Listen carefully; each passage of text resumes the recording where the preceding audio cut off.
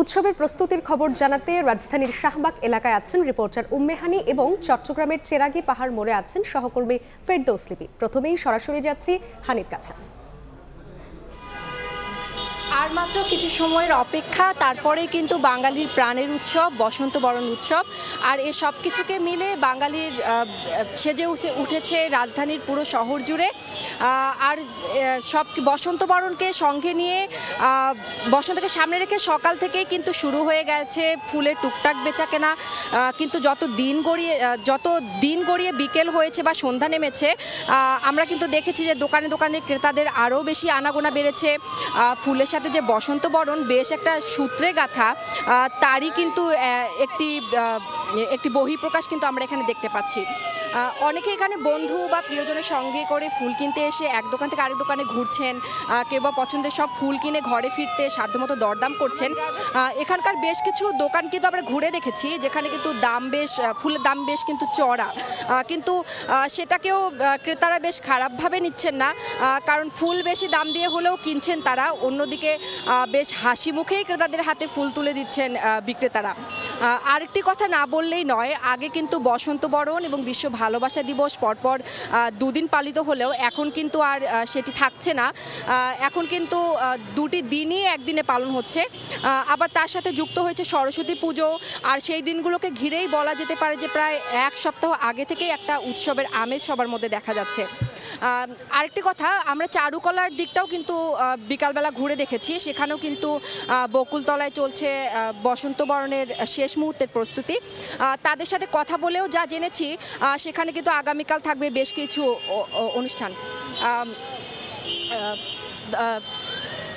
আর এই ছিল রাজধানীতে বসন্ত বরণের সর্বশেষ। চট্টগ্রামে রয়েছেন সহকর্মী ফেরদৌসি লিপি। সেখানকার সর্বশেষ সর্বশেষ খবর আমরা সেখান থেকে জানব। দেখেছি এবং বিকালে কিন্তু এই মাত্রা আমরা বলতে পারি যে অনেক বেশি এবং আপনি জানেন যে বসন্ত উৎসব, ভালোবাসা দিবস, তার সাথে যুক্ত হয়েছে সরস্বতী পূজা।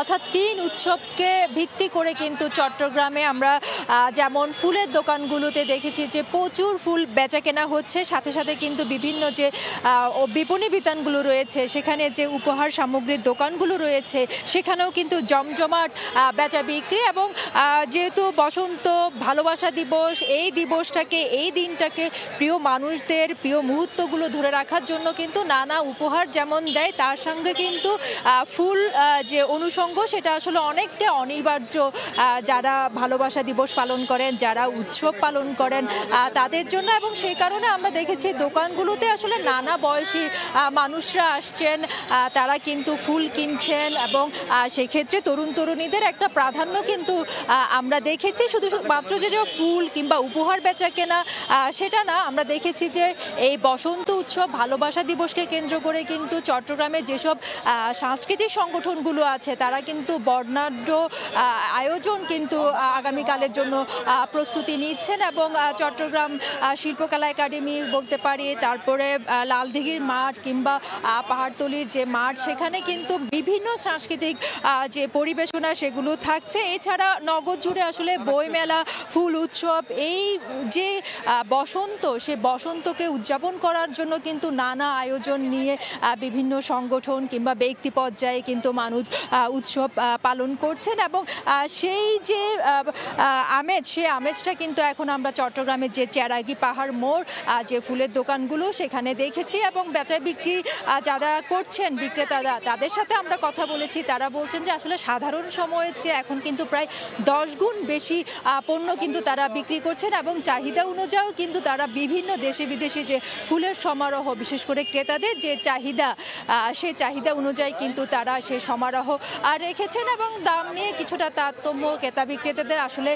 থাকে। তারপরেও প্রিয়জনকে প্রিয় মুহূর্তের জন্য ফুল একটা উপহার দেওয়ার জন্য কিন্তু মানুষ ছুটে আসছে এসব দোকানে। তো এই ছিল আমার কাছে এখনও পর্যন্ত চট্টগ্রামে যে বসন্ত উৎসব কিংবা ভালোবাসা দিবসের যে আমেজ তার সর্বশেষ। বসন্ত বরণের শেষ মুহূর্তের প্রস্তুতির খবর জানতে সরাসরি ছিলাম চট্টগ্রামে, তার আগে ছিলাম রাজধানীর শাহবাগে। অন্য প্রসঙ্গ